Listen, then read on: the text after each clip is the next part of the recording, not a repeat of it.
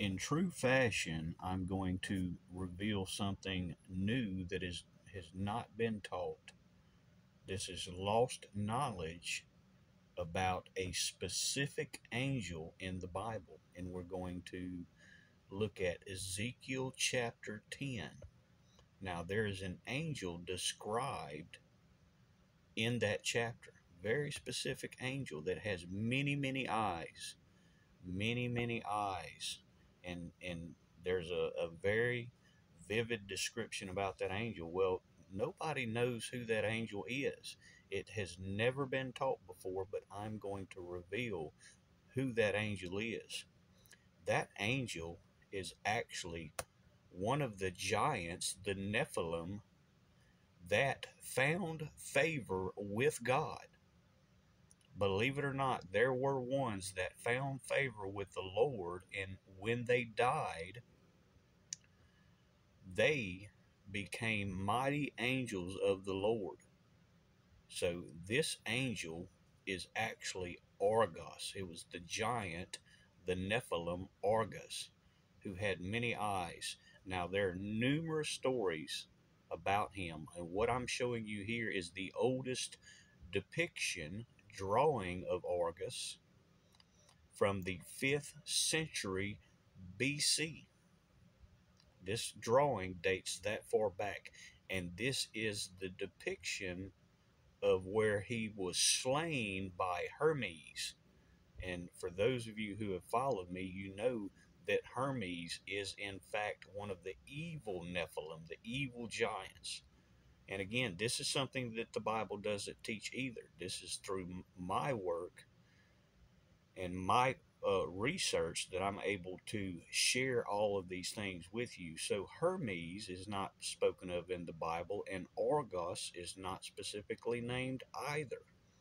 But they are, in fact, biblically connected giants, Nephilim offspring. So Hermes is the son of the eldest sister of the Pleiades that are mentioned three times in Scripture. The Pleiades are mentioned in Job 38 31, Job 9 verse 9, and Amos 5 verse 8.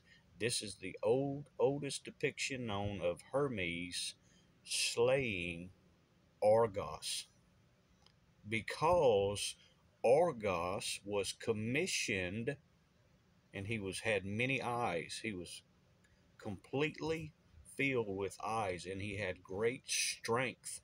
So he was commissioned to protect the sacred heifer.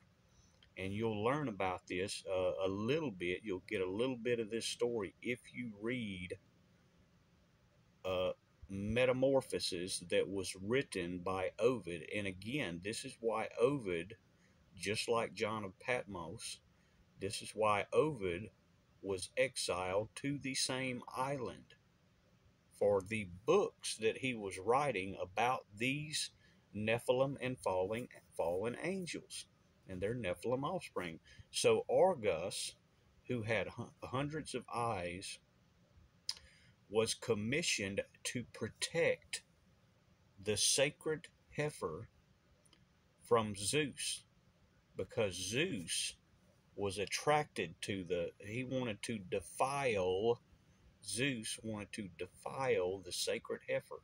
And you can read about that in scripture in the Bible where the fallen angels had not just defiled and took human wives they were also defiling the animals Zeus of that generation is actually Baraquil the fallen angel Baraquil who was Satan's, Lucifer's ninth general.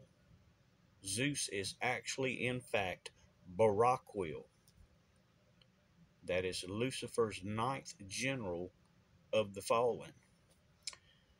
So Zeus wanted to defile the sacred heifer. And again, you read about this in Ovid's book, Metamorphoses.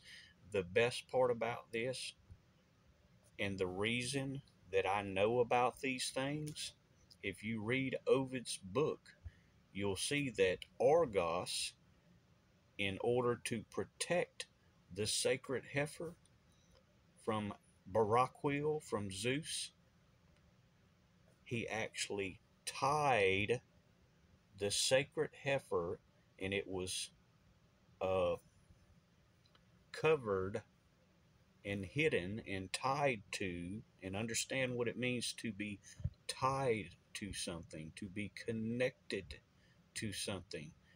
Argos tied, connected the sacred heifer and hid it under the sacred olive tree. The sacred olive tree. This is how I know these things. And this is some of the information that you can read about it. You can actually find some of this information if you search, it out for yourself. So, Argos, the giant, the Nephilim offspring, Argos, also killed another entity which had serpents for legs. He, he did many things to find favor with the Lord. He did many things to find favor with the Lord, and he was ultimately, because they saw it as if he had betrayed them, the other evil Nephilim saw it as if Argus had betrayed them, and Hermes, the evil Nephilim, slayed Argos. And in return for finding favor with the Lord, he made him into an angel a powerful and great angel, and that is the angel that can be seen or read about in Ezekiel chapter 10. Incredible people, something that has never been taught until now.